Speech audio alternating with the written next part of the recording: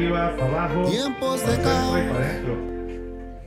Cuando los trenes llegaron, familias enteras lavadas, hijos envenenados, queremos manos.